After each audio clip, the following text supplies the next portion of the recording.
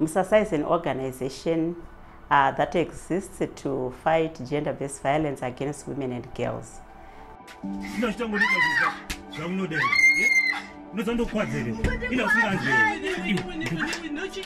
After having noticed that women and girls were marginalized where gender-based violence was concerned, Musasa was set up in 1988 to respond to that call. Over the years, we've really achieved a lot because as Musasa, we have uh, arms like the direct services, we have uh, advocacy department, and we also have the shelters.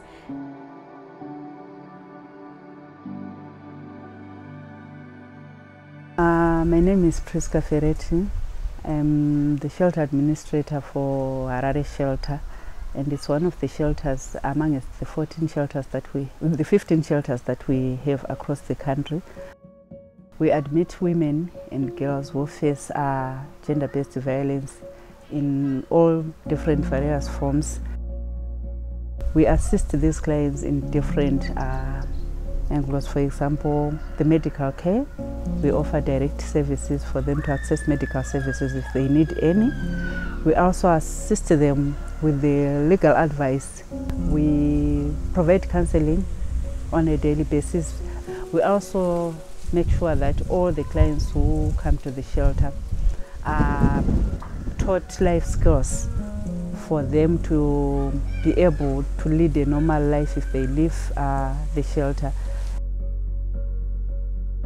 inini ndakabatsirwa nemusasa kuburikidza nedambudziko remirishonga mumba tainetsana nemurandarume wangu taiti takarimawo kumunda ndinoshanda ikwanisa kuwana sofunga munongogutsikana kuti vanhu vevarume vakabata mari anoita kakuchinja kaanoita.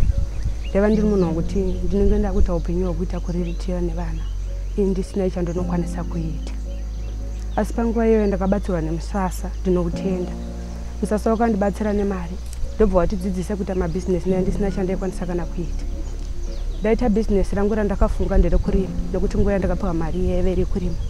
Ndobva ndarima bhinzi dzangu. Ndarima bhinzi dzangu zveshuwa dzakandibatsira dzakandibhadhara ndakatanga kufunga kuti pekugara chapandina ndofunga makangochitarisa muri kungonawo musha uri pano. Asi panguva iyoyo ndakaona kuti zvinhu zvangu hazvikwanisi kundiburitsira ndobva ndamhanya zvidhina zvangu 30 000 zvamuri kuona zviri apa izvi. Ndobva ndatengesa zvimwe kuti ndizowana mari yekuti ndiwane kuvakisa imba yacho ndiwane kuwanawo kudya ndiwanewo zvinondibatsira ndisina chandinoita. Zveshuwa ndinovatenda vemusasa ndakatanga kuona upenyu hwangu hwaakuchinja ndakatengesa zvidhina zvangu ndakavaka ndiyo imba iyoyo yamuri kuona.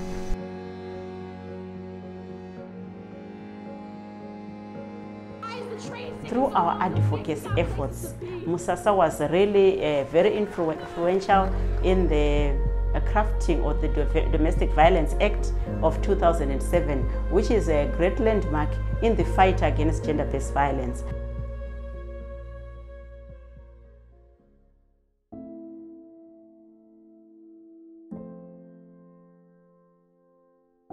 This uh, one-stop uh, center is the center that was established in 2014 as a response to women and girls who had to look for other services after having come for counseling and uh, psychosocial support at Msasa. Women uh, needed more than one service. They needed medical, they needed legal, they needed to go and you know to courts to go and access other services. So as Msasa, we saw the plight of women. So we decided to have this under one roof. So we have a clinic which is here and we have a, a, a legal officer, a resident lawyer who is here. So that when the traumatized woman comes here, she, is, uh, she gets all the services, she gets the psychosocial support, she gets the counseling that she needs and the basic medical and family planning services. She's able to access that all under one roof. This is to prevent secondary traumatization because we noticed that as women moved from one service provider to the other, then they start telling their story. They go to the other, they start retelling their story. It was more traumatic for them to start and relive their painful experiences. So having these services under one roof, it will relieve the pressure on the woman so that she comes here, she receives the services, and then she can go home. Uh, during the cyclone, Idai Musasa was very, it was one of the organizations, uh, the first ones, because uh, uh, when we heard about the cyclone Idai, I think it was the first or second week uh, that we managed to go there. We were some of the respo- first responders to the cyclone Idai.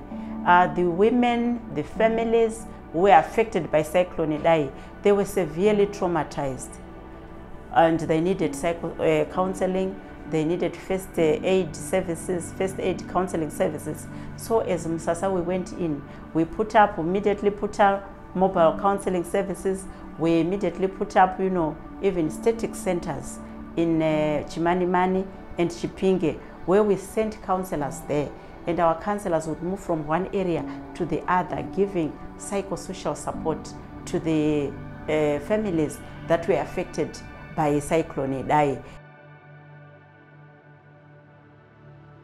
We are also working with uh, various stakeholders in child marriages. We are working with other organizations like the ARC, Zimbabwe Lawyers for Human Rights. We are working also with the uh, Zimbabwe Women Lawyers Association, with the Women in Law Society of, uh, of Zimbabwe. We are working with the like-minded organizations, PADARE. We are working with ARC as well and many other organizations to ensure that our children are safe child marriages is a scourge in Zimbabwe, where uh, uh, for religious purposes children are married off to people who are even older than their grandfathers and or even their fathers. And uh, we've, we've, uh, we've gotten together, we've uh, fought together, and right now we are, finding, we, we are fighting that we have uh, we, we robbed in parliamentarians so that we can end child ma- ma- marriages because most of these children they are raped because it is against their will. So we are fighting also for mandatory senten- sentencing of all those who rape children. Yes. We have an average of about 500 um, clients per month. But uh, during the COVID period, we discovered that during the first week of the COVID, uh, when the lockdown was announced, we had 592 cases of gender based violence, uh, which were coming through our call center. So we quickly adjusted. We had only one line. Uh, toll free line which had four dedicated lines so we quickly we said what are we going to do now because obviously more women are going to need these services so we had to increase our toll free lines. Up to date now we have 10 dedicated lines and we also started uh, implemented a shuttle service because some of the women didn't have enough transport. Remember that time the, the kombis were not moving and women couldn't move around. So we introduced a shuttle service where we could go and pick up a woman who is in danger and then we could also bring them to our shelters.